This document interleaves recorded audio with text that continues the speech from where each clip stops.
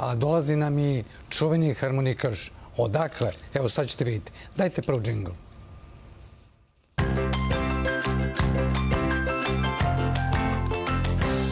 Da, on je majstor harmonik, jeste majstor harmonik, on je Miodrag. Dolazi iz Čačanskog sela Tribušani, jeste, koji čak u devetoj deciji neumorno svira i popravlja ovaj instrument. Ajmo da vidimo priču.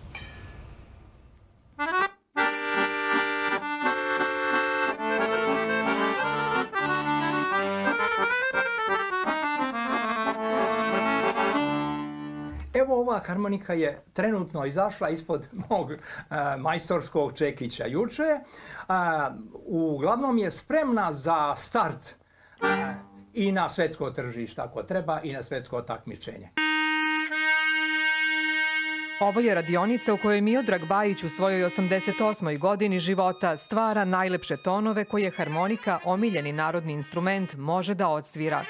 Nekadašnji vrsni harmonikaš Velike Jugoslavije nastupao je u elitnim hotelima sa najvećim muzičkim zvezdama tog vremena. A evo primjera recimo ovaj, e, od Zehre Deovića, Nade Mamule, e,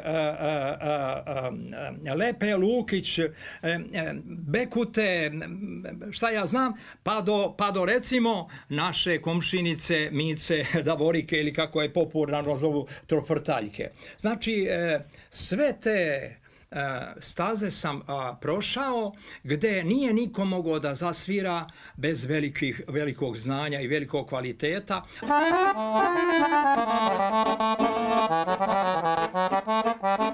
Ovaj veliki poznavalac harmonike i muzike ističe da je važno da svi oni koji sviraju ovaj instrument treba da ga nauče, a on poznaje svaki njegov šraf.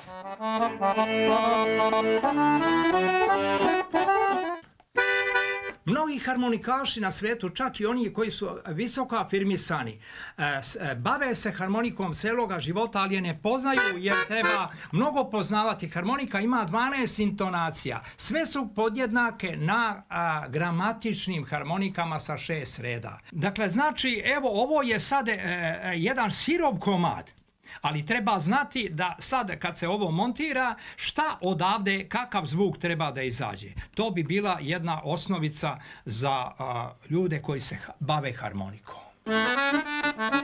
Čuveni majstor Miodrag Bajić tvrdi da je kroz njegove ruke prošlo više od 8000 harmonika, koje je popravio i nanovo sklopio.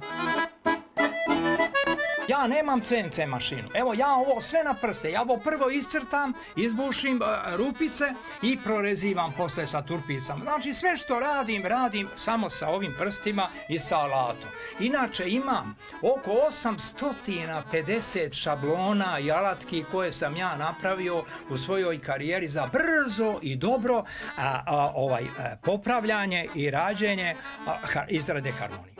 Muzika je otkriće veće od svih mudrosti i filozofije. A kako naš majstor dugmetare voli da kaže, harmonika je velika nauka i treba joj spoznati dušu. A majstor Mićev, kad razvuče da lap, on čuje da vam kažem koja valja i koja ne valja.